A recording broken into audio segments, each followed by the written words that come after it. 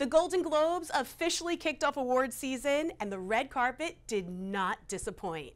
Now let's start with the mother of subliminal fashion moments, Taylor Swift. She hung up her Kansas City Chiefs jersey to re-enter her reputation era for the Globes, looking gorgeous in a glittering green Gucci gown. Her bestie Selena Gomez joined her pal for a girls' night out in her own unique dress, wearing a red Giorgio Armani gown.